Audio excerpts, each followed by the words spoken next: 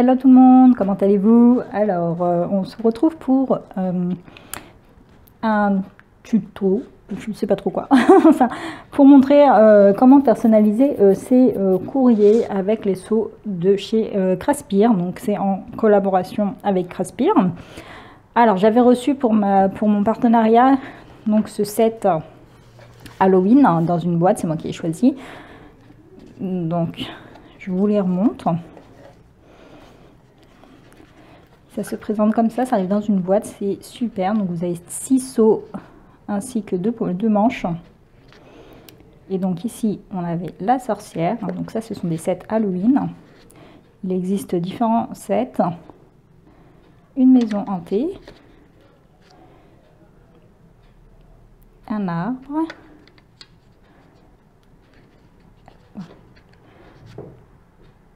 Un cercueil, un squelette dans un cercueil.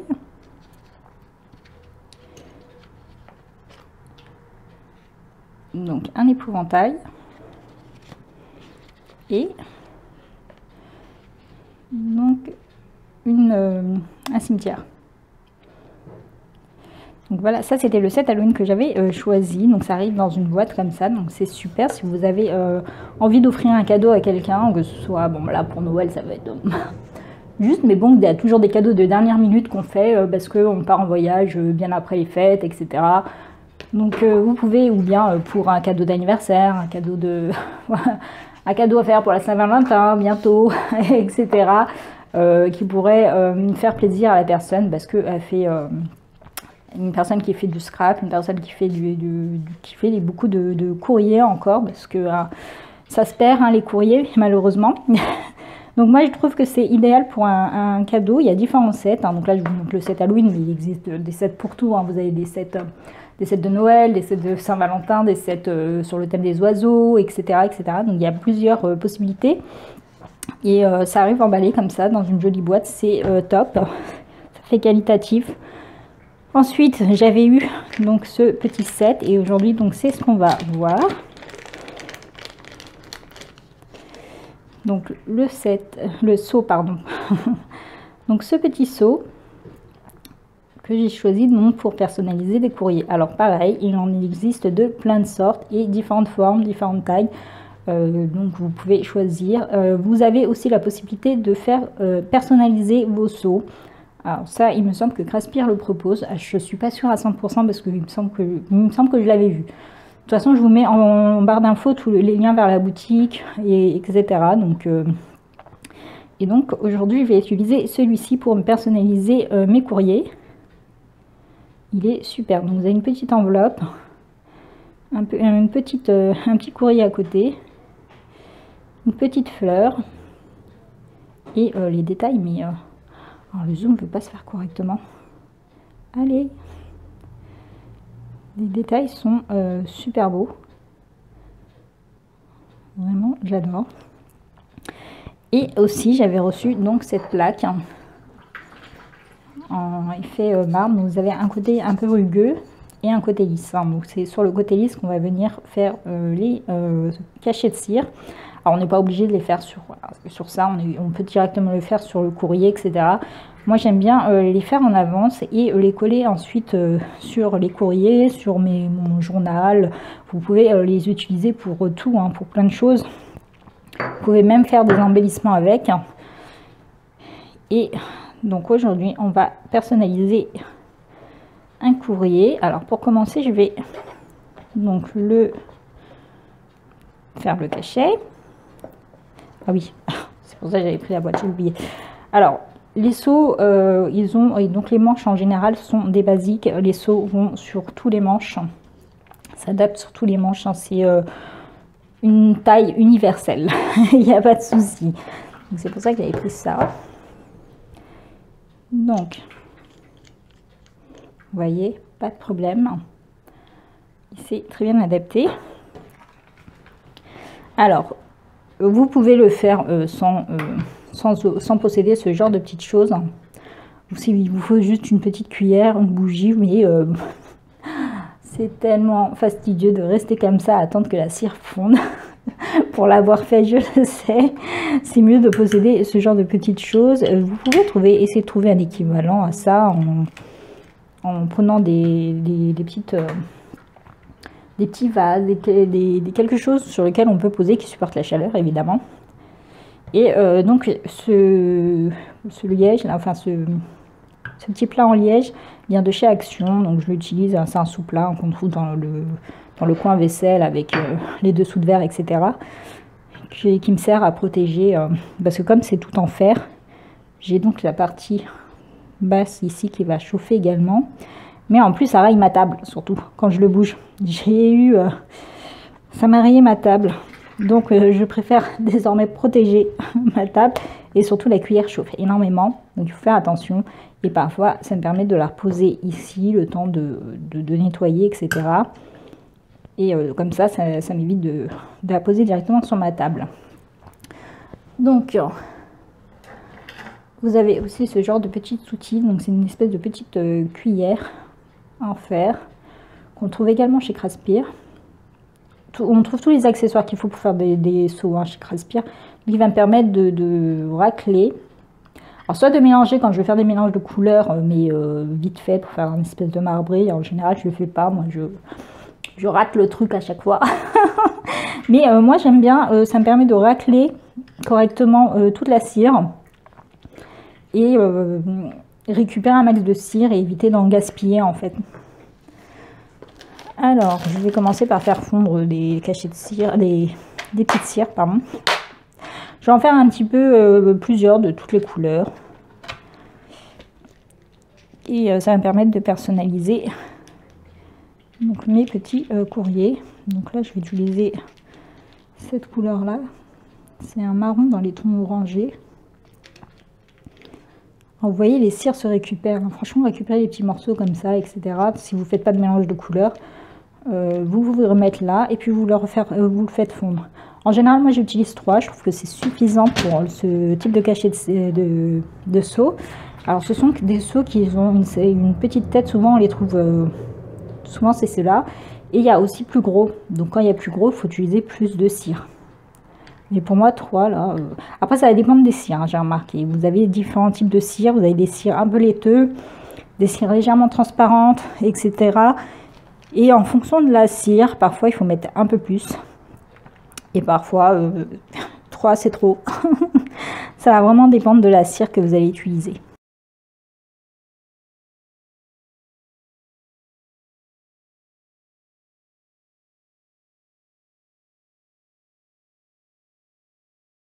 Donc voilà, ma cire a fondu. Je vais donc la verser. Alors, je ne comprends pas pourquoi le petit euh, verseur, il est que d'un côté. Il devrait être des deux côtés. Parce que pour les personnes qui sont gauchères, etc. moi, je suis pas gauchère, je suis droitière, mais comme j'utilise ma main droite justement pour racler, ben, ce serait mieux.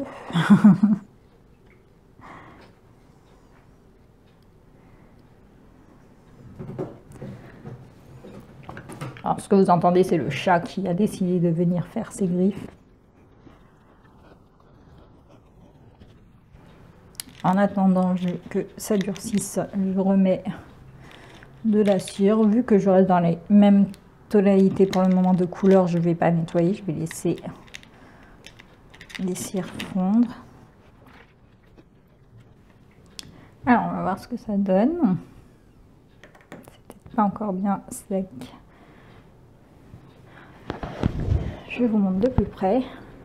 Voilà le résultat. C'est trop beau. Oh, et j'ai même pas vu, mais en fait, il y a un petit papillon. Ou bien c'est un nœud.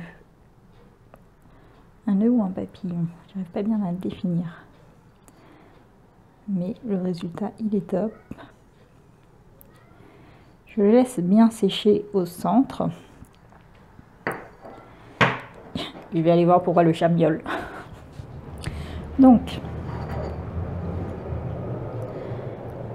alors, ça donne... ça se décolle assez facilement quand ils sont bien secs. Donc il faut attendre un petit peu quand même. C'est bien lisse derrière. Il met un très joli arrondi. voilà pour celui-là, je continue d'en faire.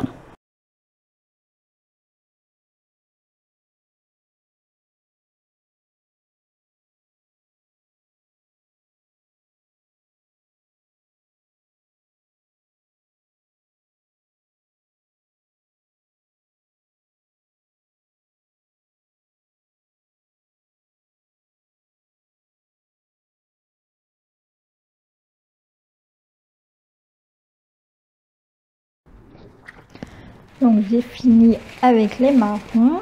Pour nettoyer, c'est très simple. Vous mettez un petit peu à chauffer. Puis vous venez prendre un mouchoir. Vous faites très attention à ne pas vous brûler. Et vous n'avez plus qu'à nettoyer tout simplement. Ça se nettoie très facilement. Vous faites attention surtout à ne pas vous brûler. Hein. C'est vraiment très très très très chaud.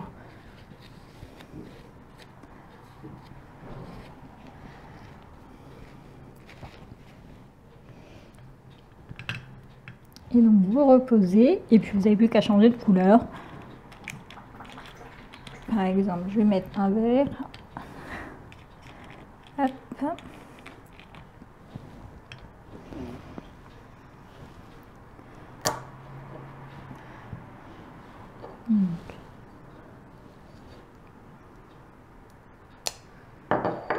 Vous voyez, ça se décolle facilement.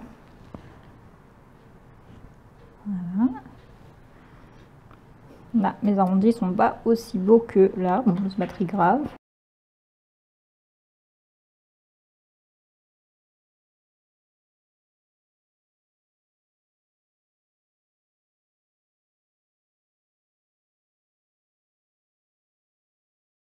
Alors maintenant, ce que je vais faire, c'est que je vais apporter de la couleur à certains avec les euh, marqueurs métalliques. Donc on en trouve également chez Craspire pour pas très cher. Alors je vais pas tous les faire, j'en ai que je préfère laisser euh, dans, leur couleur comme ça, j'aime bien. Je vais faire par exemple celui-ci avec du doré.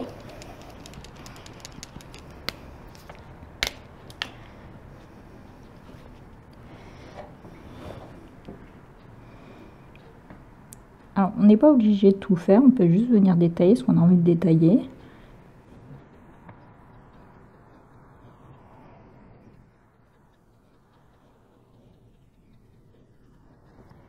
Voilà le résultat.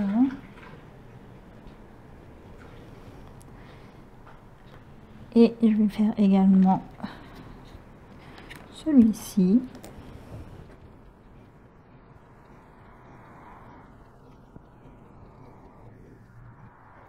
Voilà. je vais faire mon dernier cachet rose ce sera le dernier que je vais faire là parce que c'était pour vous montrer des, couleurs différentes mais je vais surtout utiliser euh, les marrons et donc le dernier pardon voilà, c'est décollé entièrement voilà en rose ce qu'il donne désolé ma fenêtre est ouverte malgré qu'il fait 2 degrés Donc ça donne ceci, j'adore. Celui-là, je vais le faire en argentique.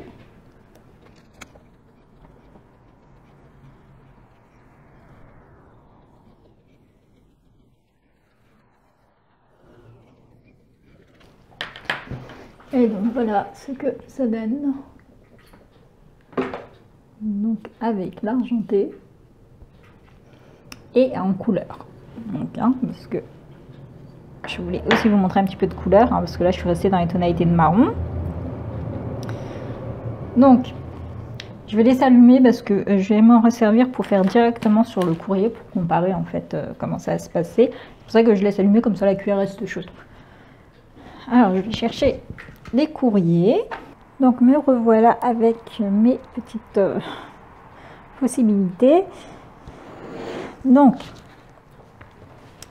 Ici, j'ai un courrier, enfin, à envoyer. Donc, c'est un happy mail qu'il y a dedans. J'ai un petit happy mail que je vais donc envoyer à quelqu'un. J'ai donc personnalisé l'enveloppe avec euh, des tampons. L'avant et l'arrière. Donc ici va venir euh, une étiquette de l'adresse. Alors là j'avais collé mais je m'avais fait une erreur dans, dans mon adresse. Heureusement j'ai pu la décoller euh, facilement. Donc voilà, ici j'ai euh, mis des petits tampons pour personnaliser l'enveloppe. Et en même temps on peut donc venir y ajouter un cachet de cire. Alors ici pour que ça reste un petit peu logique, je pense que je vais rester dans les teintes plutôt colorées comme ça.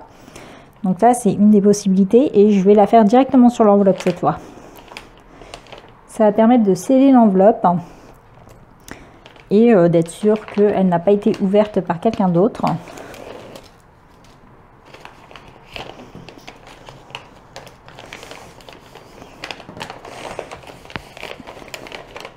Parce que ces derniers temps, la poste est une cata. C'est là pour vous.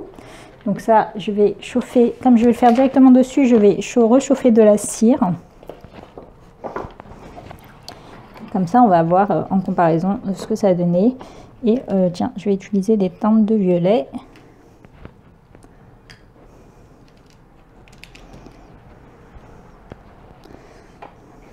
Directement sur papier. Donc là, je les mets de côté. Pour les autres, alors, donc j'en ai fait d'avance hein, parce que j'ai d'autres envois à faire qui ne sont pas encore prêts. Euh, là, c'est pas des envois, c'est juste des exemples. Alors, par exemple, j'ai euh, cette petite boîte. Dedans, il y a tout simplement un sachet de thé. Après, on met euh, ce qu'on veut dedans. Hein. là, là c'est parce que moi, c'était pour mettre des petits sachets de thé dedans. Et donc, elle se ferme comme ceci. Et idem, pardon, on peut coller donc des petits. Alors j'aurais pu mettre un petit ruban un petit fil euh, ah je l'ai pas pris à côté de moi. Enfin j'en ai en rouge je savais pas trop le faire. C'est pas grave. Euh, alors. Alors ça je l'avais acheté sur AliExpress et franchement euh, top. Je vais venir donc mettre un petit peu de colle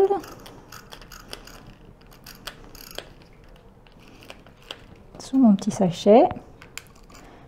Alors ici, vous voyez que quand on a mis directement là, ben, ça colle pas, la colle ne vient pas se déposer dessus. Il n'y a rien qui se dépose. Donc c'est pour ça que je viens directement le faire là. Et je vais venir, j'aurais dû mettre un petit ruban. C'est pas grave. Et imposer Bon, là, c'est un sachet mais c'est parce que c'est un exemple, mais euh, vous pouvez y mettre, euh, il y a des dice qui rentrent là-dedans, des petits tampons.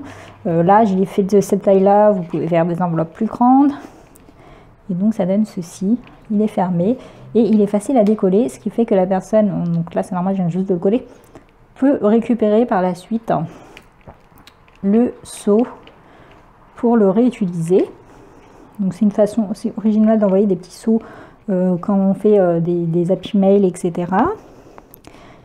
Ici, j'ai mis, euh, j'ai fait ce petit sac avec les papiers de chez Action, les fins, pas les épais. Vous savez, dans les, les trucs craft, etc. Et donc dedans, j'ai mis des petits chocolats. Ça peut être une idée. C'est très facile à réaliser ces petits sacs. C'est, ça peut être une idée à poser sur la table. Euh, quand vous recevez des convives, vous leur posez euh, vos petits chocolats. Il y a différentes tailles aussi, donc là c'est euh, une des plus petites que j'avais faites.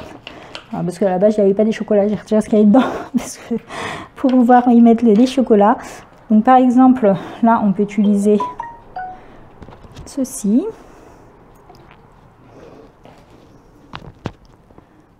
Donc c'est la jute de chez Action qu'on trouve dans le rayon bricolage.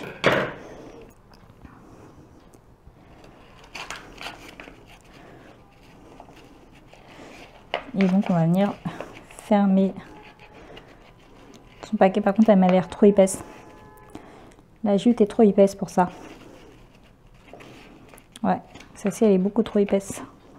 Ah zut. J'aurais pensé qu'elle serait plus fine.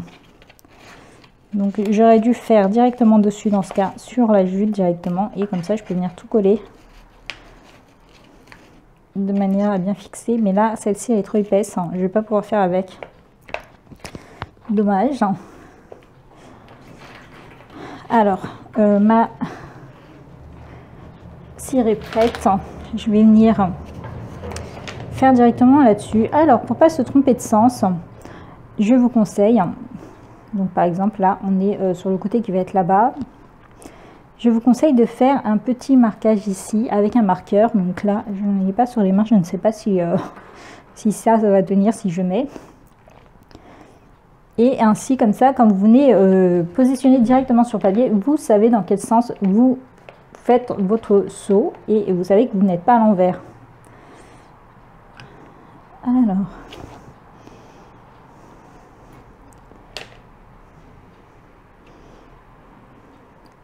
Alors mon papier il est un peu vers le bas, donc c'est normal que la cire se balade hein, quand on est sur papier. C'est pour ça que j'aime bien les faire euh, sur... Euh, j'aime bien les faire plutôt... Hop, on va essayer de, remettre un petit peu tout ça. Elle est bien chaude là, la cire, donc euh, ça va. Je peux jouer avec.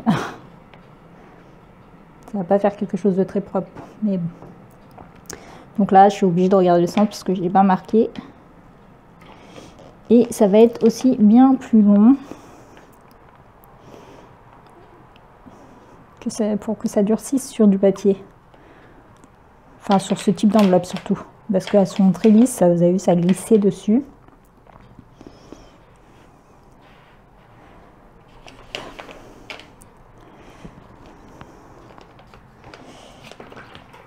Donc là, je vais attendre.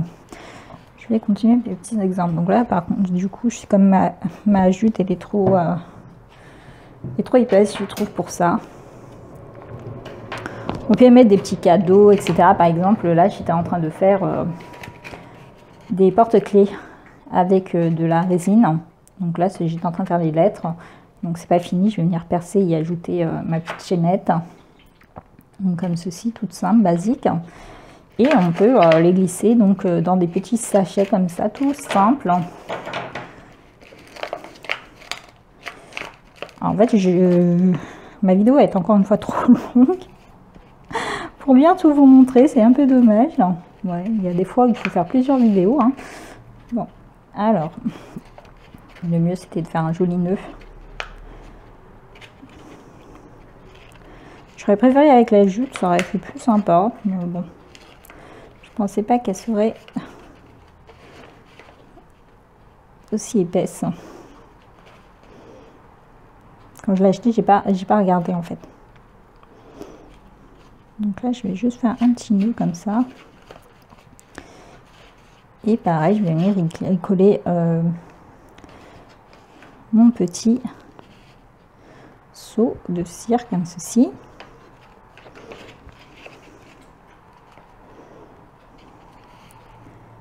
Par contre, je ne peux pas la coller avec ça parce que euh, là, ça, euh, comme c'est sur de la ficelle, là, ça va pas tenir, c'est sûr. Et comme j'ai tout ramassé, je n'ai pas de colle à côté de moi. Décidément. Voilà ce que ça fait quand on prépare pas ces vidéos. Donc là, je vais découper un petit peu les fils parce que ça fait un peu trop.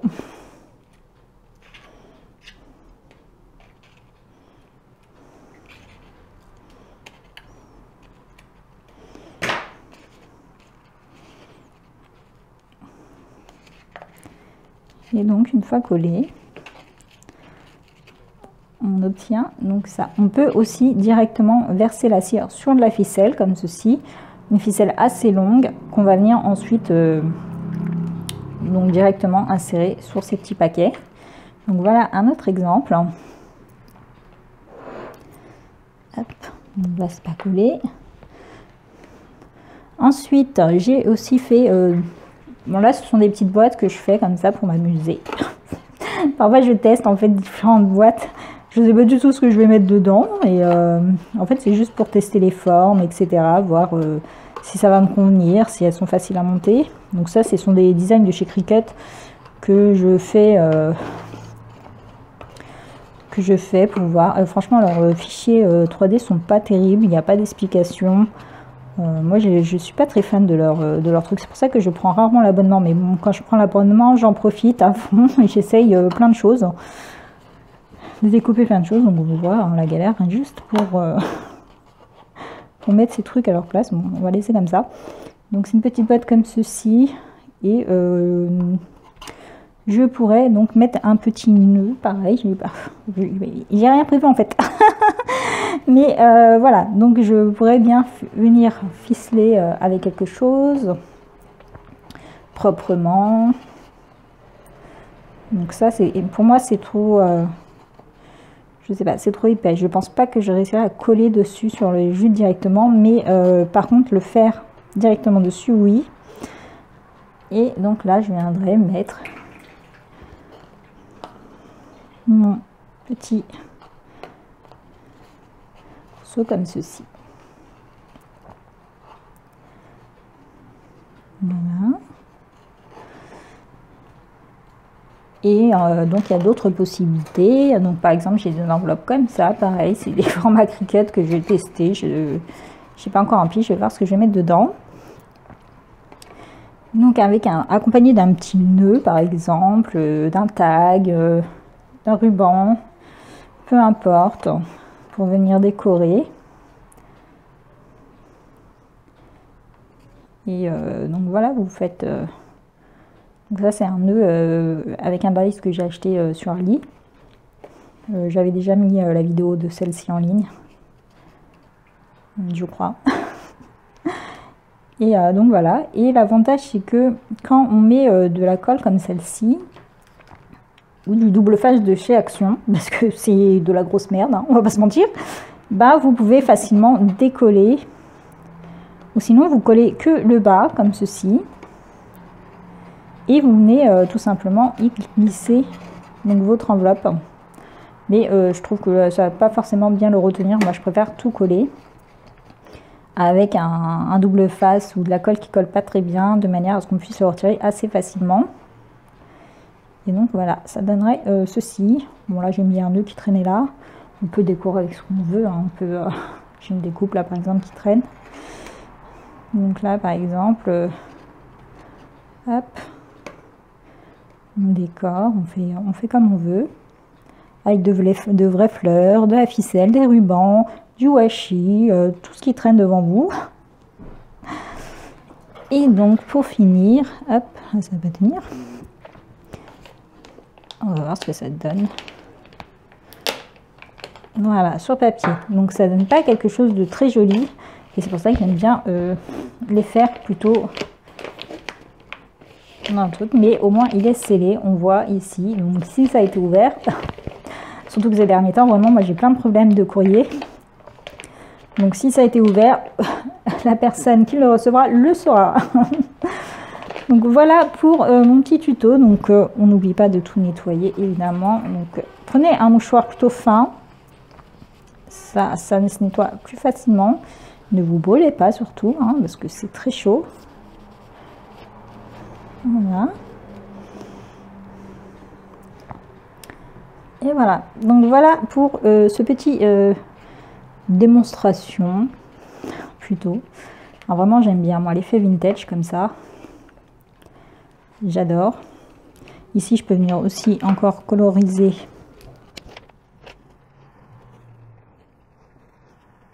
Voilà. Donc le seau. C'est quand même plus joli.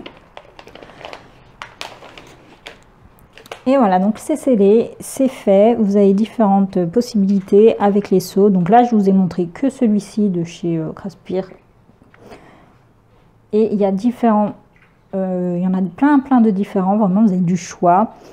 Euh, donc pensez à aller voir. Vous avez un coupon avec euh, en barre d'infos. Donc euh, pensez à ce genre de petites choses pour personnaliser vos courriers, vos enveloppes, vos, petits colis, euh, etc. Vous pouvez aussi faire un petit trou et l'accrocher avec, euh, quelque chose, un anneau, de ficelle, peu importe. Hein, on n'est pas obligé de les coller. Et c'est toujours sympa, ça, ça, fait vraiment son effet, moi je trouve.